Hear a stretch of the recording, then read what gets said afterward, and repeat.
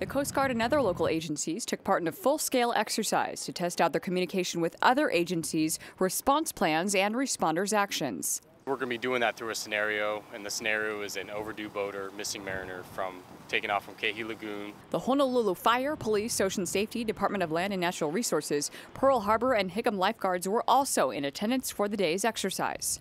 The Coast Guard says they work with other agencies on search and rescue missions like this one to ensure the safety of the public, and they say they do these exercises about every two years. To make sure that we're working uh, the best we can together, to make sure we're communicating properly, and that we're utilizing assets appropriately and not doubling efforts. The exercise comes on the heels of two search and rescue missions taking place within the past week, one on the Big Island, the other in Maui.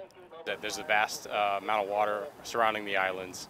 Um, there's a lot of mariners that go on there, commercial and recreational, and we have a limited amount of resource. The Coast Guard also conducts these full-scale search and rescue missions every other year on the Big Island, Kauai, and Maui as well.